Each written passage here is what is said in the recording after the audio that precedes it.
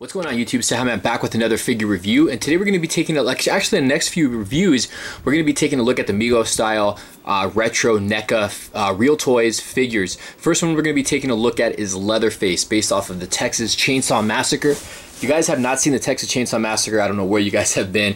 It's probably one of the scariest um, like horror movies that uh, I've seen. It, it was made back in the 70s. I'm pretty sure a lot of you guys have know it or you guys have seen the remakes or the sequels to the first one. I personally enjoyed the first one, of course. The second one was second was pretty good. It was entertaining, um, and the remake with Jessica Biel I didn't think was too bad at all, to be honest with you. Looking at the packaging, we'll get it over here. So it's got uh, that clamshell packaging. You got a really cool artwork right there of Leatherface. You got the um, figure right here as seen in package, and uh, NECA Reel Toys. Turn this around. You have um, Leatherface right there, so you can probably see me the reflection back there and the light and everything. But uh, there's a little read up right there. If you guys want to read, feel free and pause and you can do just that. So Liz, sorry about the lighting, it is a little bright. So it's Texas Chainsaw Massacre right over here. So that's pretty much packaging on this. Um, let's go ahead and take this figure outside of the package. So here's a quick little 360 look at Leatherface. Now looking at this figure right off the bat, it is very nicely designed and I don't even know, this guy's really not going to be able to stand on my on my uh, turntable. I actually purchased some of the NECA bases that they have, but these, these figures do not have peg holes at the bottom of their feet but there's a quick little top to bottom look. Yeah he's not gonna stand. Little blooper there but um as far as the figure goes the accessories he does come with his hammer right here which you can see and he does hold pretty well. He's got two close fists and I'm going to tell you where this is going to come into uh, play in a problem. But um, the mallet or hammer whatever you want to call it is pretty nice. You can see it's pretty nicely detailed and then even the um, the handle as well looks pretty good. It's got some texturing and little detail to it. And then might it has little red spots on there, so I'm guessing that might be blood. Who knows? But there's that. His iconic chainsaw, of course. I mean, because you can't have a um, Leatherface figure without a chainsaw. So you get this. It's not really sharp at all, but it is a soft material. And it is covered with blood. You can see the blades right here. Looks pretty good. And then there's the end piece. You can see it's got some dirt on there, so it has a little bit of wear to it. And then also the backing of it, you can see it's it's pretty much just got spots of blood all over it. This part is um, it has a little bit of articulation, but just be careful you don't break this off because I am sure, you know, knowing NECA, um, a lot of this stuff breaks pretty easy. So you get the chainsaw as well. So those are the only accessories that you get. Again, he has two close fists, and then you can put like the um, the hammer in either or in either hand. But where do you put the chainsaw?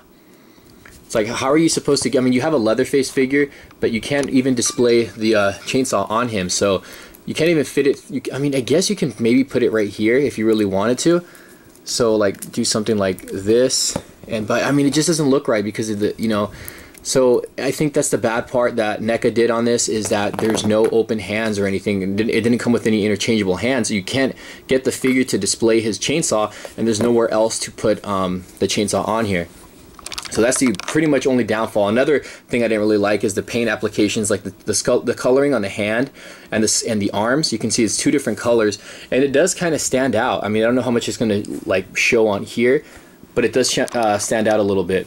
Now, looking at the figure, looking at the, the head sculpt, the mask on him looks very nice. I mean, it's really nicely detailed. I mean, look at the skin. You can see the stitching and everything. You got the ears, you can totally tell it is like a like he's wearing a mask. And if we let's see how close we can get on the teeth. So you can see, look at that, man. He's got he's got like spaces between his teeth, all those big old gaps. But um, He's got the mouth open and then just the head sculpt, man. That mask looks great. And then the hair looks just like how he did in the um, in the movie. So this the hair is really sculpted nice. The cloth or the clothing, it's all cloth. Because you got a tie right here. You can see that. He's got the apron, which is covered in blood. It's a nice soft material. So I'll show you that right there. It's very nicely painted. And then, um, yeah, it's got the blood spots all over it. There's the inside part, and then it's wrapped tight around the back here. He's got a shirt, which is uh, just striped a striped shirt and you can see the buttons are underneath it. Let me zoom out a little bit. So the apron's really cool and then you got like some old school kind of looking jeans, like 70s style jeans. You can it totally reminded me of like back in the day. But I mean, I wasn't born in the 70s, but they do remind they have that like old school look to them. And you can see the stitching and everything. They did a great job in doing the um, the jeans on this figure. And then you got the boots right here. very nicely sculpted as well. A little bit of detail on them. No peg holes at the bottom. I think that's what these things are missing is just um, just like they need some peg holes. The boots don't go all the way up, so you can see that right there. Very nice. Now, in the way of Leatherface's articulation, so the head can rotate, goes up and down. Arms go in and out, forward and back, bend at the bicep. Wrist can rotate and go in and out. The arm can rotate. Got rotation at the waist. A little bit of an ab crunch, not really. The legs do go in and out, not too far though. They, they go forward and back, bend at the knee. He's got rotation in the leg. The foot can go up and down, and um, that's about it as far as articulation goes. And there you have it, guys. Today we're taking a look at the um, retro style NECA Texas Chainsaw Massacre figure. Again, the only problem I had with this figure was that you didn't hold the um, the chainsaw, so there's nowhere to really put the chainsaw. Maybe because these parts I kind of open up, maybe you can clip it around somewhere around the clothes, the cloth, the clothes. But I mean, it just doesn't give it that same feel. But and then you got the um, he's got the hammer which he holds well in either hand. But overall, let me know what you guys think about the figure. And uh, yeah, leave a comment below. Don't forget to like, subscribe, share my videos. We'll see you guys later. Take care. Don't forget to follow me on Instagram and on Facebook, guys. Thanks for watching.